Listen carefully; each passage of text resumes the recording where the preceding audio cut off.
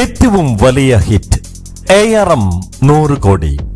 ഈ വീഡിയോ നിങ്ങളുടെ മുന്നിലേക്ക് സമർപ്പിക്കുമ്പോൾ ചെറിയൊരു കാര്യം പറയുകയാണ്. മറ്റൊന്നുമല്ല നമ്മുടെ ചാനൽ നിങ്ങൾ ഇതുവരെ സബ്സ്ക്രൈബ് ചെയ്യാതെയാണ് കാണുന്നെങ്കിൽ ദയവ് ചെയ്ത് ചാനൽ ഒന്ന് സബ്സ്ക്രൈബ് ചെയ്യുന്ന കാര്യം പരിഗണിക്കണം. കൂടാതെ നോട്ടിഫിക്കേഷനായി താഴെ കാണുന്ന ബെൽ ബട്ടൺ കൂടി അമർത്തണമെന്ന് പ്രത്യേകം താല്പര്യപ്പെടുകയാണ്.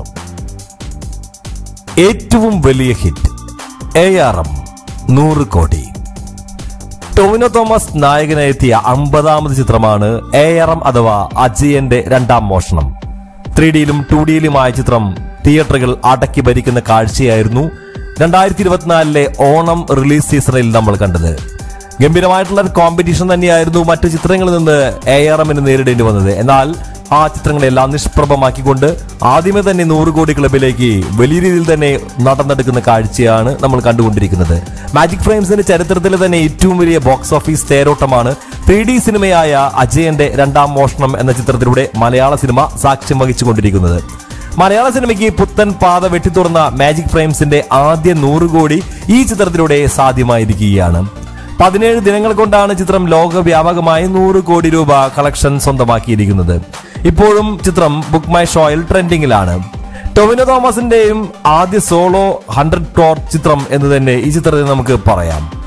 എ ആർ എം അങ്ങനെ ടൊവിനോയുടെ ആദ്യ സോളോ നൂറ് കോടി ചിത്രമായി മാറി കഴിഞ്ഞിരിക്കുകയാണ് ജൂഡ് ആന്റണി ജോസഫ് സംവിധാനം ചെയ്ത രണ്ടായിരത്തി പതിനെട്ട് എന്ന ചിത്രം നേരത്തെ തന്നെ നൂറ് കോടി ക്ലബിൽ ഇടം നേടിയിരുന്നു. ഈ ചിത്രത്തിൽ ടൊവിനോ തോമസിനെ കൂടാതെ ഒട്ടനവധി താരങ്ങൾ ഉണ്ടായിരുന്നു അതുകൊണ്ട് തന്നെ അത് ടൊവിനോയുടെ മാത്രം ഒരു നൂറ് കോടി എന്ന് പറയാൻ നമുക്ക് സാധിക്കില്ല. കാരണം തുല്യ പ്രാധാന്യമുള്ള ഒരുപാട് കഥാപാത്രങ്ങൾ ഉണ്ടായിരുന്നെങ്കിൽ കൂടി ടൊവിനോ തോമസ് നായകനായി എത്തിയതാണെങ്കിൽ കൂടി ആ ചിത്രത്തിന് അത്തരത്തിലൊരു നേട്ടത്തെയാണ് പറയാനുള്ള ഒരു കഥയുള്ളത്. എന്നാൽ ഇപ്പോഴിതാ ആദ്യ സോളോ നൂറ് കോടി ചിത്രം എന്ന നേട്ടം എ ആർ എമ്മിലൂടെ ടൊവിനോ തോമസ് സ്വന്തമാക്കിയിരിക്കുകയാണ് തന്റെ അമ്പതാമത് ചിത്രത്തിലൂടെ.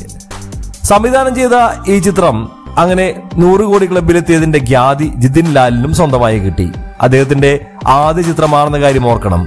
വളരെ നാളത്തെ മുന്നൊരുക്കത്തോടുകൂടി ഒരുങ്ങിയ വളരെ കൃത്യമായ നിരീക്ഷണത്തോടുകൂടി ഒതുങ്ങിയ ചിത്രം. അതുകൊണ്ട് തന്നെ വൻ വിജയത്തിലേക്ക് തന്നെയാണ് നടന്നെടുത്തത്. സുജിത് നമ്പ്യാരാണ് ചിത്രത്തിന്റെ രചന നിർവഹിച്ചിരിക്കുന്നത്. മലയാള സിനിമ പല പ്രതിസന്ധികളിലൂടെയും കടന്നു പോകുമ്പോഴെല്ലാം തന്നെ ആശ്വാസമായി എത്തിയത് മാജിക് ഫ്രെയിംസിന്റെ ചിത്രങ്ങളായിരുന്നു. A R M three D പതിപ്പിലൂടെ വീണ്ടും ഒരു ലിസ്റ്റിൻ സ്റ്റീഫൻ മാജിക് മലയാള സിനിമ സാക്ഷ്യം വഹിക്കുകയാണ്. പ്രായഭേദ്യമന്യേ എല്ലാ പ്രേക്ഷകരും ഈ ത്രീ ഡി വിസ്മയം തിയേറ്ററുകളിൽ തന്നെ കാണാൻ തീരുമാനിച്ചത് സിനിമയ്ക്ക് ഏറെ ഗുണം ചെയ്തു എന്ന കാര്യത്തിൽ സംശയമില്ല.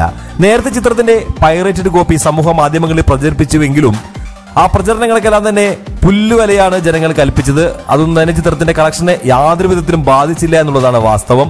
നല്ല സിനിമകൾക്ക് പ്രേക്ഷകർ അകമഴിഞ്ഞ പിന്തുണ എക്കാലവും നൽകിയിട്ടുണ്ടെന്നുള്ളതിന്റെ ഏറ്റവും വലിയ ഉദാഹരണം മാറുകയാണ് ഈ സിനിമയുടെ വൻ വിജയം. മാജിക് ഫ്രെയിംസിന്റെ ബാനറിൽ ലിസ്റ്റിംഗ് സ്റ്റീഫനോടൊപ്പം യു ജി എം മോഷൻ പിക്ചേഴ്സിന്റെ ബാനറിൽ ഡോക്ടർ സക്രിയ തോമസും ചിത്രത്തിന്റെ നിർമ്മാണ പങ്കാളിയാണ്.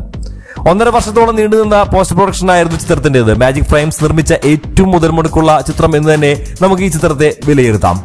അങ്ങനെ അത് ഏറ്റവും വലിയ ബോക്സ് ഓഫീസ് വിജയമായി മാറുന്ന കാഴ്ച കൂടി നമ്മൾ കാണുകയാണ്. പ്രേക്ഷകർ അങ്ങനെ അത് തിരിച്ചു നൽകുകയാണ് ഉണ്ടായത്. ചിത്രം ഇറങ്ങിയതിനു ശേഷം നേരിട്ട പൈറസി വിവാദങ്ങൾക്കിപ്പുറവും അകമഴിഞ്ഞ പിന്തുണയാണ് ലോകമെമ്പാടുമുള്ള സിനിമയെ സ്നേഹിക്കുന്ന എല്ലാ പ്രേക്ഷകരും എല്ലാ വിഭാഗത്തിൽ നിന്നും നൽകിക്കൊണ്ടിരിക്കുന്നത്. ഇത്തരം വലിയ വിജയങ്ങൾ ഇനിയും മലയാള സിനിമയ്ക്ക് മാത്രമല്ല എല്ലാ സിനിമ ഇൻഡസ്ട്രിക്കും പ്രചോദനമാകട്ടെ എന്ന് തന്നെ ജനങ്ങളുടെ ഈ വിജയം നമുക്ക് ചൂണ്ടിക്കാണിക്കാവുന്നത് ചിത്ര നിർമ്മാതാവായിട്ടുള്ള സ്റ്റീഫൻ പറയുന്നതും ഇത് തന്നെയാണ്.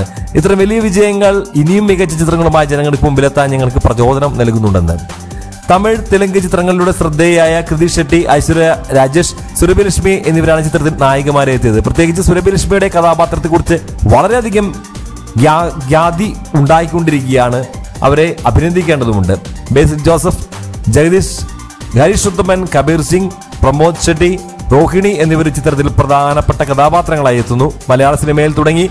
ഇപ്പോൾ ബോളിവുഡിൽ വരെ എത്തി നിൽക്കുന്ന ജോമോണ്ടി ജോൺ ആണ് ചിത്രത്തിന്റെ ഛായാഗ്രഹണം നിർവഹിച്ചിരിക്കുന്നത്. എഡിറ്റിംഗ് നിർവഹിച്ചിരിക്കുന്നത് ഷമീർ മുഹമ്മദ് ആണ് ഏതായാലും വലിയൊരു നേട്ടം തന്നെയാണ് സിനിമ ഈ അടുത്ത നാളുകളിൽ ഉണ്ടാക്കിയെടുത്തിരിക്കുന്നത്. ഇനി എത്രത്തോളം ഈ നേട്ടം ഉണ്ടാകുമെന്നുള്ളതിനെ കുറിച്ച് മാത്രമേ നമുക്ക് അറിയേണ്ടതുള്ളൂ. കാത്തിരിക്കുകയാണ് ടോവിനോയുടെ അജയൻ. നൂറ് കോടിയും കടന്ന് ഇരുന്നൂറിൽ തൊടുന്ന ആ നിമിഷത്തിന് വേണ്ടി. ഈ വീഡിയോ നിങ്ങൾക്ക് ഇഷ്ടപ്പെടുന്നു കരുതുന്നു. വീഡിയോ കുറിച്ച് നിങ്ങളുടെ അഭിപ്രായങ്ങൾ താഴെ കാണുന്ന കമന്റ് ബോക്സിൽ ദയവ് ചെയ്ത് രേഖപ്പെടുത്തുക. മറ്റൊരു വീഡിയോ നമുക്ക് വീണ്ടും കാണാം. അതുവരെ എല്ലാവർക്കും ബൈ ബൈ